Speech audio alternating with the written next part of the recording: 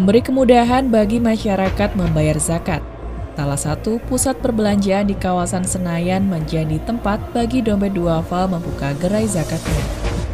Akhir pekan lalu, kehadiran tamu istimewa.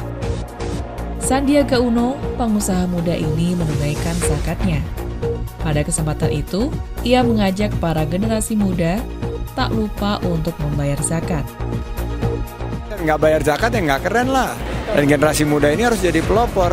Jangan hanya bisanya uh, main sosmed, terus main games, tapi juga bisa berpartisipasi untuk meningkatkan uh, kepatuhan. Bukan hanya kepatuhan terhadap peraturan, tapi kepatuhan terhadap uh, kewajiban kita berzakat. Sandi juga melihat melalui zakat dapat menjadi solusi dalam mengatasi permasalahan pendidikan, kesehatan, serta ekonomi umat.